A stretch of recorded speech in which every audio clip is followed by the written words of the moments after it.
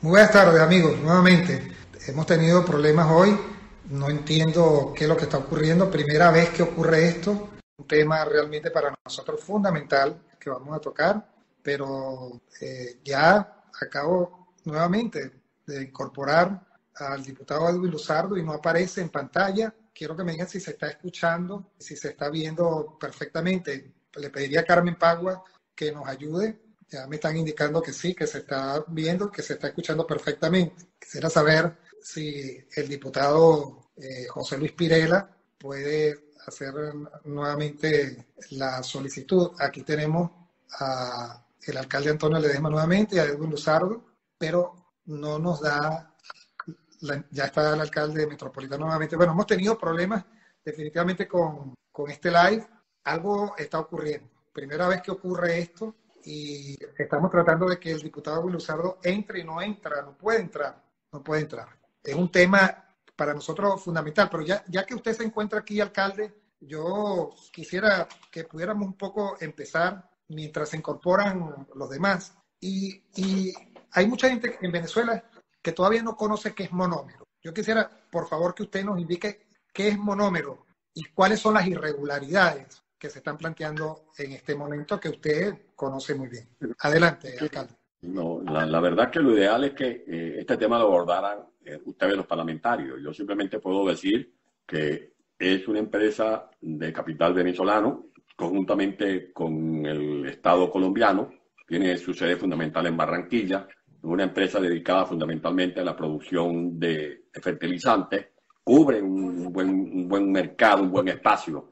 Eh, y las irregularidades creo que las ha puesto de bulto eh, eh, desde un principio claramente el diputado José Luis Pirela, quien ha hecho una investigación muy seria, muy fundamentada, que tiene que ver con las irregularidades, irregularidades que tuvieron su epicentro en la manera como se ha venido manejando o tomando decisiones eh, desde el gobierno interino. Yo aquí no vengo con la idea de cargarle la mano a nadie, pero simplemente sí hablar con la verdad. Eh, estas cosas son consecuencias del manejo sectario, del manejo de la repartición de cuotas, como muy bien lo dijo en su intervención en la Asamblea Nacional el diputado Pirela, y este tipo de acciones eh, sectarias traen estas malas consecuencias. Lo importante es no quedarnos en la denuncia, como lo ha dicho el propio diputado Pirela, como lo ha dicho muy bien el diputado Benny Luzardo, que han estado también abanderados con esta, con esta denuncia, con esta investigación, sino que yo quisiera rescatar una de las cosas que he hablado con Richard Blanco, con el propio Pirelli, el diputado Pirelli y con Edwin Luzardo, es que no nos quedemos solo en la denuncia, sino que ahora se establezcan las responsabilidades. Caiga quien caiga. Aquí nadie puede venir a hacer el papel de motolito, del que tira la piedra y esconde la mano, el que tenga responsabilidades, que asuma su barranco, pero después introducir los correctivos. Ahora, tú no vas a curar este, un catarro, una gripe, eh, pasándote un pañuelo eh, lleno de moco por la cara.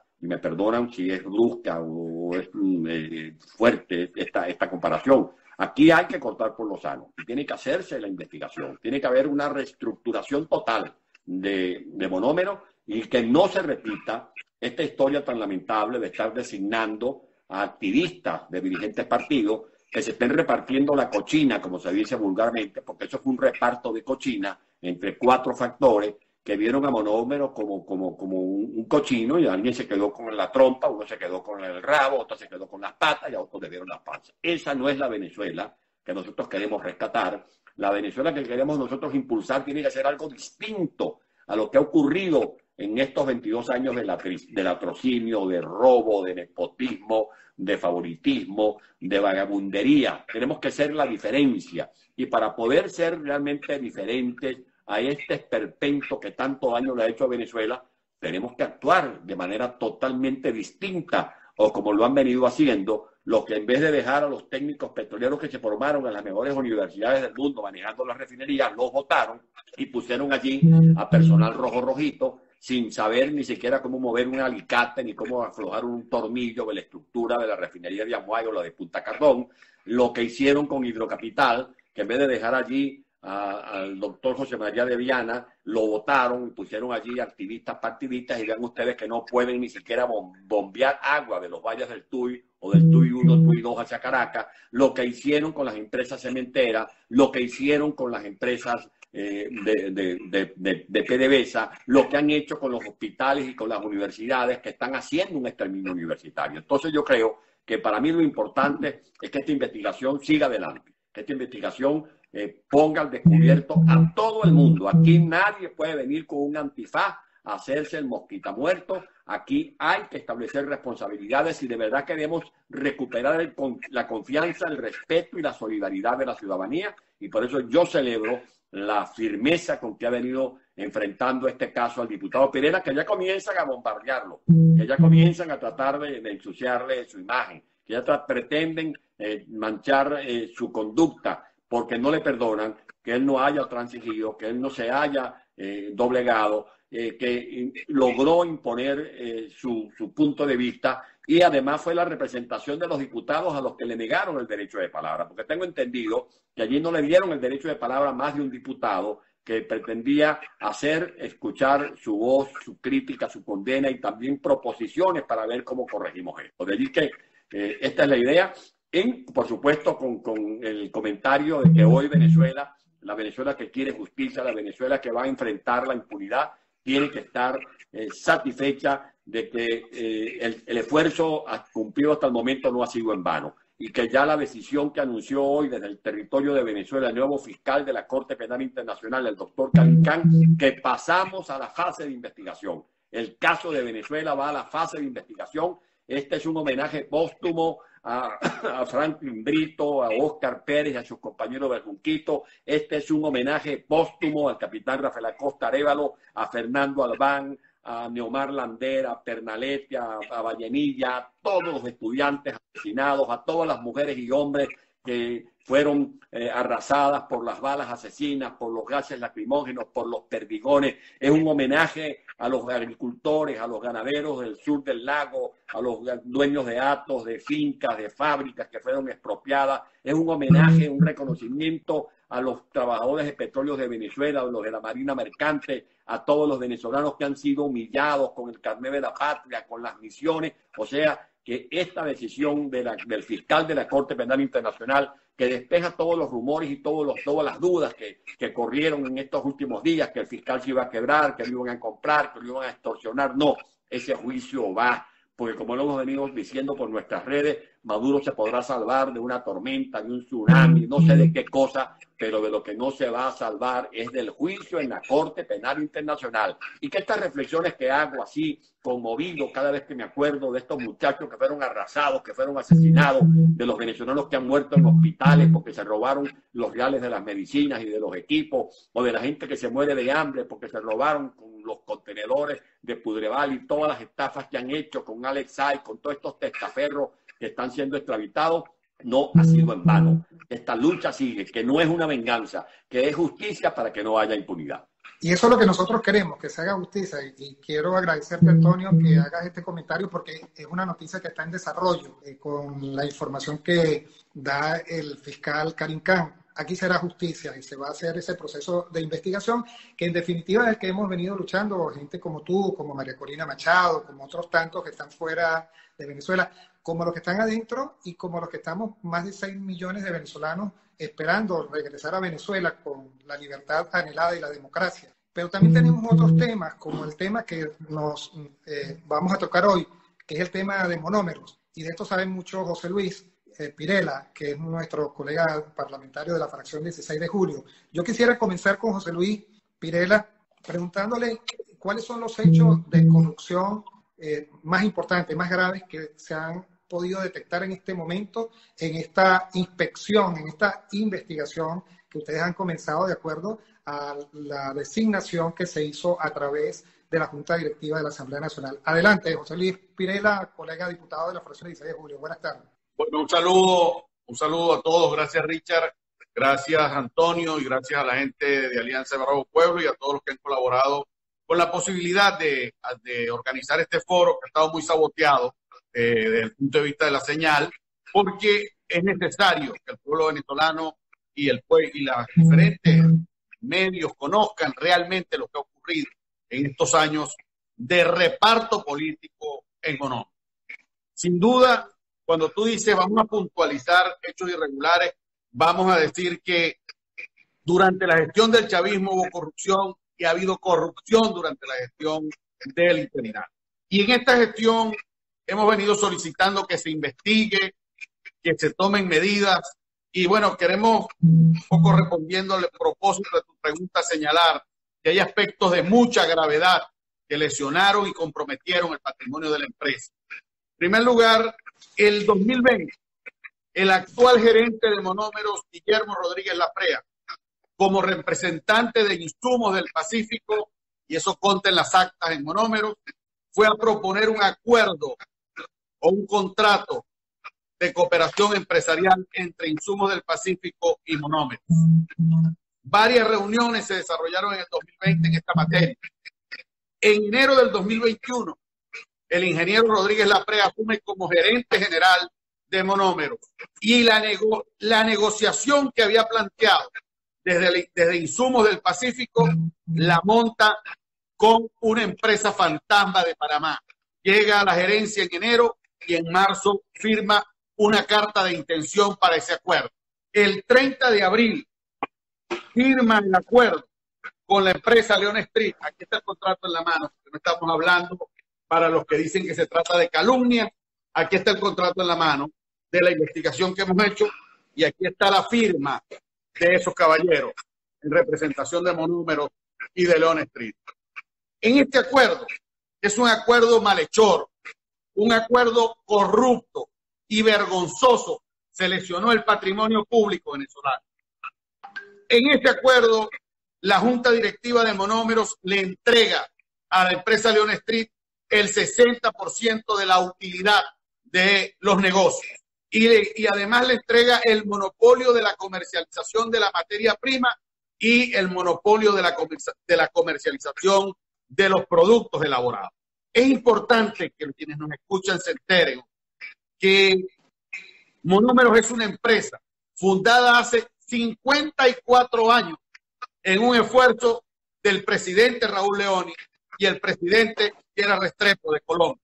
Y que la construcción de monómeros igual que la adquisición de importantes activos y refinerías en el país, es un viejo anhelo que los principales actores de la política en los años 60, el presidente Rómulo Betancourt, el presidente Leoni, el maestro Luis Beltrán Prieto Figueroa, que era el presidente del Congreso, el doctor Jesús Ángel Paga Larraga, que era el secretario general de ADE, Gonzalo Barrio, y posteriormente los gobiernos de Caldera y Carlos Andrés Pérez le metieron un, un gran esfuerzo a la consecución y al desarrollo de esa estrategia de internacionalización petrolera y de la naciente petroquímica. No estamos hablando de cualquier cosa. Monómeros llegó a ser, llegó a cubrir el 70% de la producción de del mercado de fertilizantes colombianos y hoy apenas en un 37%.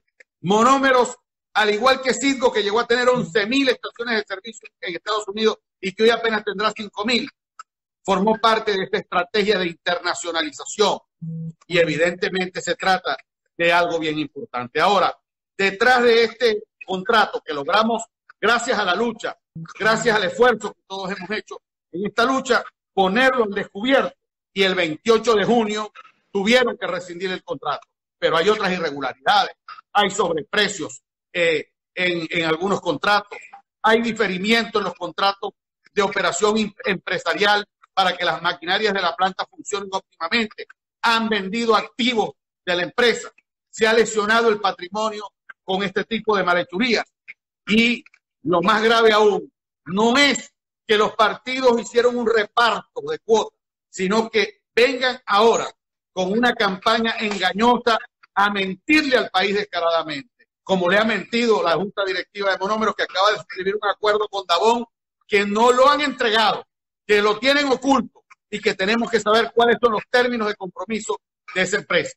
Entonces, lo más grave es que quienes metieron la pata politizando las empresas, repartiéndose cuotas en las empresas, hoy vengan a la Asamblea Nacional a reiterar su error para aprobar un informe plagado de vicios, un informe doloso, un informe que no recoge el espíritu y propósito de la investigación y que pretende con sofismas, con retórica y con mentiras articuladas seguir engañando al país en torno a, uno, a un activo que es muy importante para los venezolanos, a un activo que representa mucho como palanca futura de la agricultura en Venezuela, que representa hoy día una palanca para los agricultores colombianos, para los agricultores centroamericanos y que lamentablemente está siendo mal manejada por quienes pretenden quebrar la empresa, porque han hecho varias tropelías, así como el entramado de insumos del Pacífico y luego de León Street. Lo que se ha buscado es comprometer el patrimonio de la empresa para arruinarla y venderla a precios, a un precio de gallina flaca. Detrás de todo esto, y lo digo responsablemente, hay grupos vinculados al narcotráfico interesados en ponerle la mano a monómeros. Y esto no lo podemos permitir los venezolanos. No podemos permitir que esta empresa la arruine para que un grupo de mafiosos le vengan a poner la mano a un activo que fue una luminosa inspiración de nuestros padres de la democracia en la década de los 60. Por lo cual digo que una empresa que tiene un background de 54 años no necesita asociarse en su comercialización porque su mercado está copado. Es decir, a monómeros más bien tiene que incrementársele la producción para ampliar los mercados. Ha habido algunos problemas estructurales que, se han, que, que fueron encontrados. Por ejemplo, el tema de las sanciones de la OFAC, que, pero, se, pero la OFAC le dio ya licencia hasta el 2022, con lo cual Monómeros puede pueda reiniciar las relaciones con la banca colombiana y con el Citibank de los Estados Unidos. Pero además, Monómeros tiene que gerenciarse de manera transparente y adecuada. Monómeros tiene que definitivamente instrumentar soluciones frente al problema, porque allí la actuación de la Superintendencia de Sociedades revela que se han cometido gravísimas irregularidades alrededor de monómeros, que ha habido situaciones para no instrumentar la, la implementación del sistema de autogestión del riesgo de lavado de activos y financiación del terrorismo y hay gravísimos problemas de gobernanza corporativa. Si frente a eso, todo lo que se haga para defender a monómeros es un servicio a la patria venezolana y es un servicio al patrimonio social y laboral de los colombianos que allí trabajan y que allí laboran y que sus familias dependen de él. Lo demás son mentiras, son engaños, son tracalerías pretendiendo esconder como el gato la porquería. No se puede permitir que esto ocurra y estamos resteados en el propósito de defender esos activos de Venezuela. Estamos trabajando con el tiempo, José Luis. Tú has estado en Colombia, estuviste la semana pasada, hubo un grupo de parlamentarios eh, que participaron en la elaboración de este informe donde la fracción 16 de julio, a través de tu persona, salvó el voto. Yo quisiera, por favor, de que razones, para que la gente tenga conocimiento, que nos puedas razonar el, esta, este voto salvado por parte de los partidos que integramos la fracción 16 de julio. Adelante. Bueno, rápidamente por razones de tiempo. Primero, el informe no recoge, no plasma el intenso trabajo de investigación que se hizo. El informe no emite valoración, juicio y evaluación sobre el desempeño en el ejercicio de sus funciones de la Junta Directiva de Monómero. El informe no dice si es buena la gestión, si es regular o si es mala. No emite opiniones porque no quieren emitirla en, función de una alianza, de una mayoría circunstancial que busca evitar la reestructuración de la empresa. Por otro lado, el informe no emite ningún pronunciamiento sobre el contrato malhechor de monómeros con León Street, el cual generó costos administrativos que lesionan el patrimonio de la empresa. El informe no se pronuncia sobre la trama de corrupción que se evidencia con insumos del Pacífico. El informe no dice una palabra sobre los términos del nuevo acuerdo con la empresa, con el grupo Davón, porque la, la directiva no quiso consignar el informe, nos dijo que estaba en proceso de elaboración y nos mintió descaradamente, porque dos días después el grupo Davón estaba despachando materia prima para la empresa Monómero y es mentira que van a despachar materia prima sin haber suscrito el acuerdo. El informe se ejecuta, a mi juicio, de una manera dolosa, porque señala de la manera más temeraria e irresponsable que la actuación de la Superintendencia de Sociedades de Colombia se hizo basada en un documento falso. Y esto es verdad. La Superintendencia de Colombia es una expresión muy elevada de la institucionalidad colombiana, con una experticia de más de 80 años y no va a elaborar un informe, porque ese un informe con documentos falsos, cuando ese es una, un organismo que tiene la experiencia y la supervisión de todas las empresas que tienen su asiento en Colombia, porque se trata de también evaluar los temas de lealtad empresarial. El informe, en buena parte de su contenido, se basa en los fundamentos esgrimidos por el bufete de abogados DLA Paper de Colombia, que es un bufete contratado por la directiva que está siendo investigada. Es decir, el informe está influido por un grupo de abogados que fue contratado por la empresa y por la directiva investigada. El informe habla de una toma hostil, cuando en realidad lo que hay es una presunta conspiración de la empresa Nitro que se llevó personal y talentos de la empresa y que hoy forman parte de su fila y habrá que abrir una investigación para determinar que hubo deslealtad comercial, deslealtad empresarial. El informe no señala absolutamente ninguna valoración precisa sobre la importancia de la implantación del sistema de autogestión del riesgo, de lavado de activos y financiación del terrorismo, Sagrilá, lo cual ha mantenido a la empresa Monómeros bajo esta gestión en estado de vulnerabilidad y generando un grave clima de desconfianza. El informe no permite valorar aspectos de la gobernanza y el informe no plantea las necesarias soluciones para monómeros que las resumo en tres puntos rápidamente en aras del tiempo. Uno, la necesidad de reestructurar la junta directiva. Dos, la necesidad de una auditoría externa confiable y calificada que nos permita tener elementos ciertos.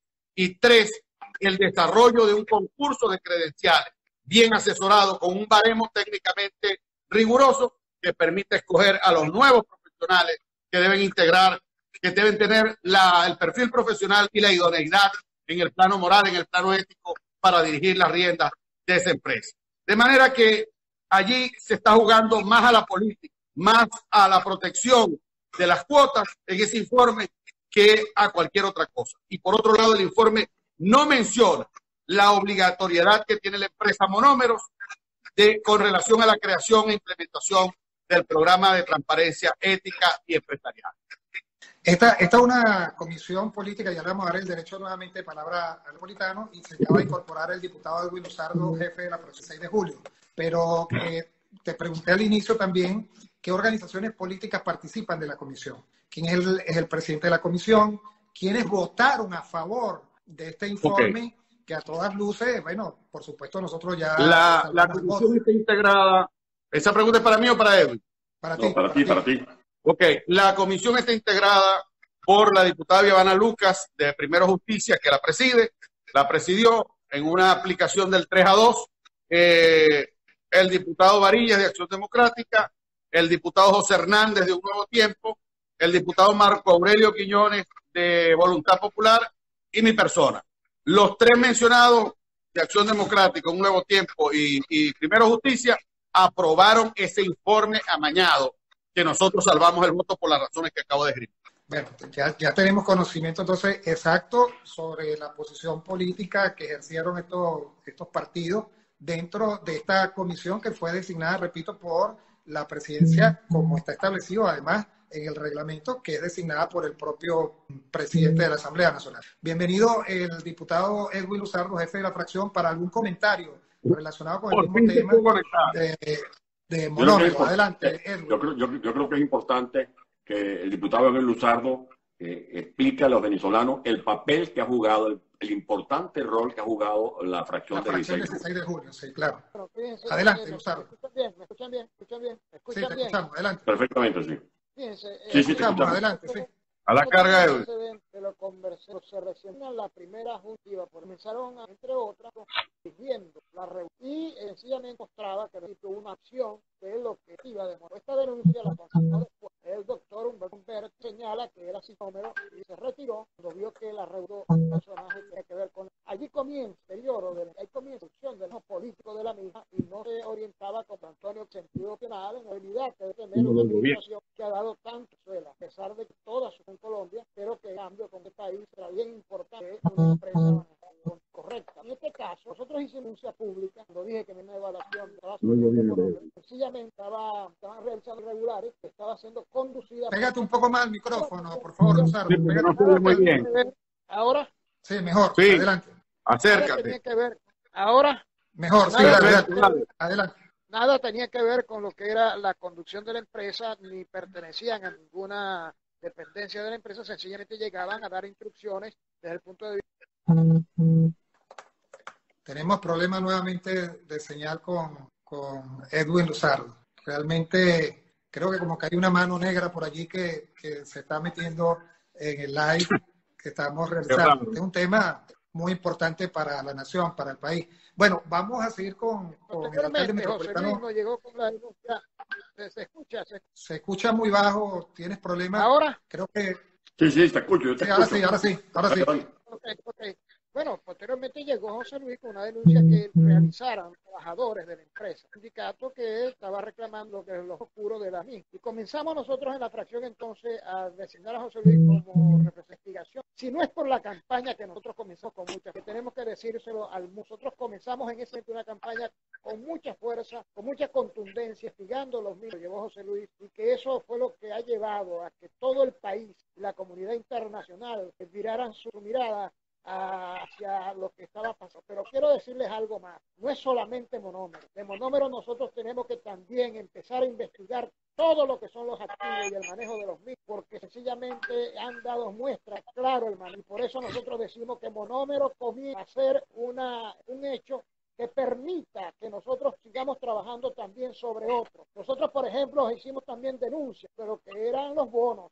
Nosotros hicimos denuncias del manejo de SIGO, de todas esas eh, empresas que están dirigidas por Generato. Por supuesto, no hemos abandonado lo que es la gran denuncia contra el régimen, pero si algo nosotros debemos cuidar es la transparencia, es la honestidad de lo que es el itinerato, cualquier figura que se haga llamar de oposición y que quiera rescatar al país, porque no podemos ser nosotros los malos ejemplos para el país cuando estemos dando estos hechos de corrupción en empresas que están siendo manejadas por otros. Ese sería un talón de Aquiles para nosotros no poder definitivamente avanzar en el rescate de la libertad de los venezolanos. Si algo debemos lograr nosotros es dar ejemplo al mundo que vamos enrumbados a rescatar al país, pero también que vamos a imprimirle mucha ética, honestidad, para que puedan ellos tener confianza en lo que va a ser ese. Si esto es lo que estamos mostrando, entonces sencillamente estamos dando señal absolutamente negativa de lo que debe ser la- el rescate del país, lo que debe ser la transición hacia una democracia que permita definitivamente rumbarse por otros caminos, que no recoja los errores del pasado y mucho menos el desastre del presente. Eso nos convoca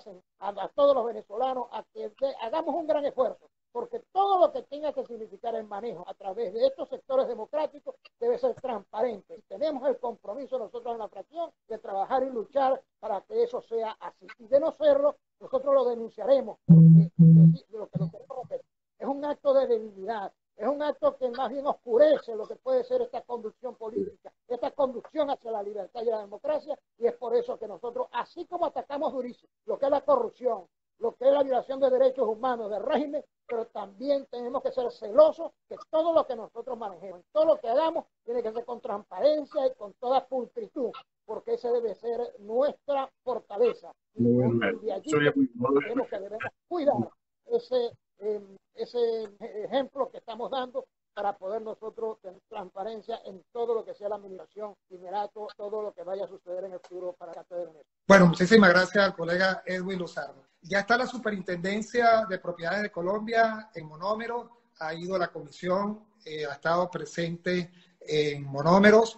Esta investigación continúa, este trabajo continúa de la comisión. Quisiera preguntarle a Antonio Ledesma, como político venezolano, interesado, por supuesto, como todos nosotros, en que la transparencia de los recursos y de los activos de la nación eh, se apliquen y que, por supuesto, los que incurran en cualquier tipo de ilegalidad, sea quien sea, sea eh, pague por estos eh, delitos que en definitiva lo que traen es más prejuicio y más mm, crisis a la nación venezolana. Adelante, Antonio Ledesma. Sí, es que el, drama de Venezuela tiene una causa muy clara, que es la corrupción. El problema que hablamos ya del- de la crisis hospitalaria, eso es consecuencia de la corrupción. En el libro que acabo de publicar, de dónde venimos y hacia dónde vamos, ahí están con pelos y señales todos los, datos que indican que dinero no ha faltado, porque miles de millones de dólares se le entregaron a los distintos ministros en la era de Chávez y Maduro para comprar equipos de rayos X, tomografía, para comprar insumos, para que ningún enfermo, eh, por ejemplo, eh, de diálisis, que, para que los enfermos renales pudieran hacerse su diálisis, para que no murieran ninguna mujer por cáncer de mama, para que ningún niño pudiera perecer como han muerto unos cuantos niños en el hospital JM de Los Ríos. O sea, es el problema de la corrupción. ¿Y por qué hay hambre en Venezuela? Porque el dinero destinado para comprar, por ejemplo, comida, importar comida, como fue en los casos de Cudreval, se lo rodaron. Lo que pasa es que aquí le echaron tierrita a eso. El mismo Chávez y el mismo Maduro, que han sido los grandes alcahuetes de todos estos corruptos. ¿O es que nos olvidamos que tuvieron que comenzar a importar comida cuando ni siquiera se hablaba de sanciones y aparecieron unos contenedores que fueron advertidos por el mal olor de la pudrición allá en Puerto Cabello y en varios otros patios de puertos de Venezuela, porque se robaron el dinero de la comida. ¿Y por qué la gente en Venezuela eh, pasa, pasa apagones, sufre de apagones? Porque no hay termoeléctrica. Pero si ahí está la termoeléctrica, Josefa Camejo de Falcón, está la Arquimiro Gabaldón en Altagracio Virituco, está Termo Carabobo 2 allí en, en Valencia, está eh, las, eh, las, termoeléctricas que han instalado en el Zulia, que son 11 termoeléctricas, las tres termoeléctricas que hay en, el estado Lara, fundamentalmente en Barquisimeto, las termoeléctricas aparejadas a, las refinerías que hay en el estado Anzuategui. O sea, si algo hay en Venezuela son termoeléctricas, y si algo le hizo la democracia a Venezuela fue eh, el Guri, Caroachi, Macagua, eh, las grandes, son, que se convirtieron en las grandes represas del mundo, sobre todo el Guri, la tercera del mundo. Ojo que, que, no, que no hay electricidad en Venezuela cuando tenemos una capacidad instalada de más de 36 mil megavatios. Ah, pero es que se robaron el dinero para las turbinas, se robaron el, dinero para recuperar las turbinas. Me dicen que las, las turbinas de Carvachi, la de Macagua y la del, la del Guri las están canibalizando, le sacan un repuesto a la de Macagua y se la ponen a la de a, la de Carvachi, le sacan un respuesto a la de Carvachi, se la ponen a la del Guri, los, eh, los, los tendidos eléctricos no les hacen mantenimiento. ¿Y por qué? Porque se robaron el dinero, se lo robaron el dinero y por ahí por el mundo andan gentíos disfrutando del dinero que le robaron a Venezuela. ¿Y por qué no, no hay agua en Venezuela? Porque no tenemos río. Yo me está el Orinoco y el caudal del Caroní y el del Guar, el río Guárico, el río Tuya, el río, el río, todos los ríos que cruzan a Venezuela y todos los acueductos que construyó la democracia, incluso los que se edificaron, aunque mal, mal hecho, como el, coloso de Falcón, que lo que fue fue un, robo del dinero de los venezolanos, porque no hay mantenimiento por la corrupción. De allí que lo que está haciendo la fracción de 16 de julio, el trabajo tuyo, Richard, el del diputado Edwin Luzardo, el trabajo de Omar González, por ejemplo, por citar otro de los diputados, el trabajo de Barragán, el trabajo de Dinora, el trabajo de, de, de, Pinera, es realmente encomiable, porque el tema de Venezuela, repito, el drama que tenemos actualmente es de corrupción. Y aunque la mamá de uno se mete en corrupción, aunque el ser más querido de uno se mete en corrupción, si no hay medidas implacables, Venezuela no va a tener compongo, no va a haber solución. Porque si la idea es sacar unos ladrones para poner a otros, bueno, esto se lo vaya, ni el diablo se lo va a llevar de lo mal que se va a terminar poniendo. Aquí la solución es cortar por lo sano, que venga de verdad un gobierno de transición que ponga la casa en orden. Y la casa en orden significa que asuman la conducción de los destinos del país hombres y mujeres comprometidos con valores, con principios, la ética, la ética que de la que tanto hemos venido hablando, que es fundamental. Y por eso creo que lo que tiene que colocarse en alto relieve es que esto no quedó impune ni va a quedar impune. Y que tienen que dar la cara los responsables de todas estas irregularidades y que estemos también pendientes de que van a contraatacar porque los malos también juegan sucio y quieren ahora desprestigiar al diputado Pirela, por ahí anda ya una campañita, porque no le perdonen, repito, el trabajo que, ha hecho. Y ustedes tienen que estar pendientes también, Richard, Elwin, todos los diputados, porque seguramente tampoco ven con, buenos ojos la, labor este, firme de esta fracción del 16 de julio que tiene que mantenerse unida ahora más que nunca para sacar adelante todas estas irregularidades. Y lo otro, que es a lo que quiero que se refieran ustedes, sobre todo tú, Pirela y Luzardo, ¿cuáles son las soluciones después de esta investigación? Bueno, este, vamos a darle la palabra a José Luis y contigo concluimos, José Luis, no sin antes decirle que por eso es que el, país está este, molesto con la dirigencia política.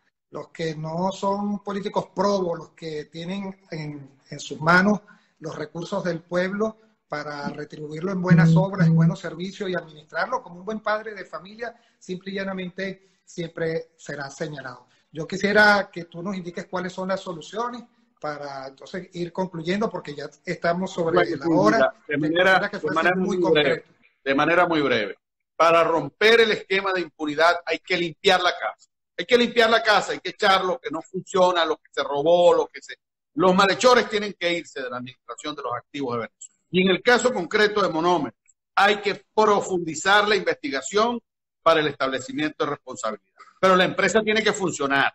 Y para que funcione, para que se pueda enviar una señal de confianza a los actores fundamentales de la, de la producción de la empresa, es decir, proveedores, trabajadores, eh, clientes, es necesario que Monómeros sea reestructurada. Y esa reestructuración debe hacerse a partir de un concurso de credenciales que permita profesionales con ética y con idoneidad profesional, gente responsable de sus actos que no esté subordinada a un capataz político que esté exigiéndole preventas en el reparto de cuotas.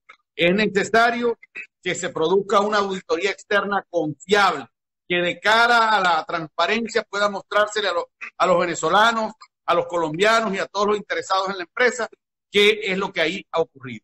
Para que se envíe una señal de confianza, para que se pueda relanzar y sanear la empresa, es fundamental que hagamos todo esto.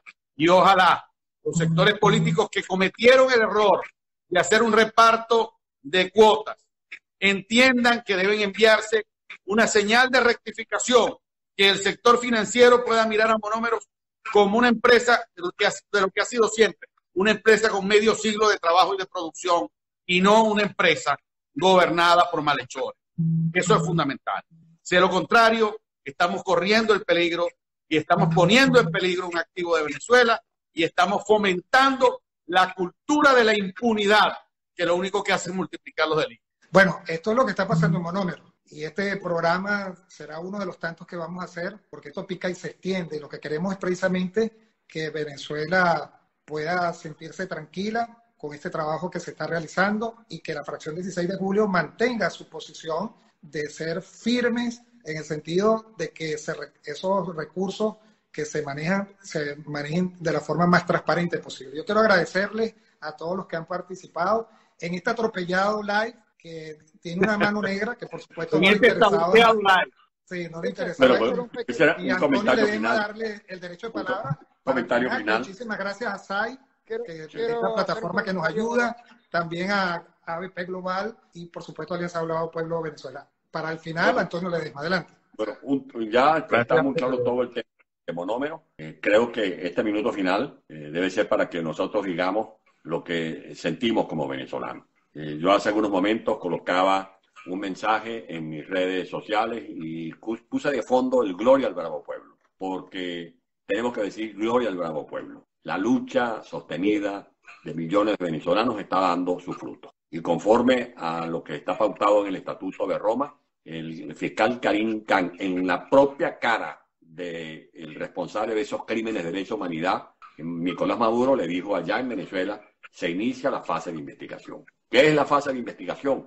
Bueno, uno de los objetivos eh, más buscados por los que venimos impulsando este proceso de investigación en la Corte Penal Internacional.